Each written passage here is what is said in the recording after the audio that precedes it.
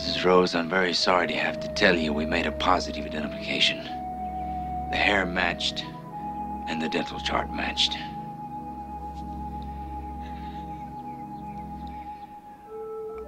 I wish I. I'm sorry.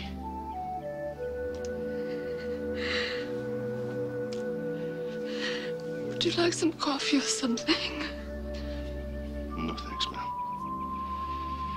We're sorry to have to tell you also, Mrs. Rose, that we're going to have to keep your daughter's remains in an evidence locker. We have to, to preserve the remains in the event the killer is caught. We're Catholic. Denise. She'll have to be blessed.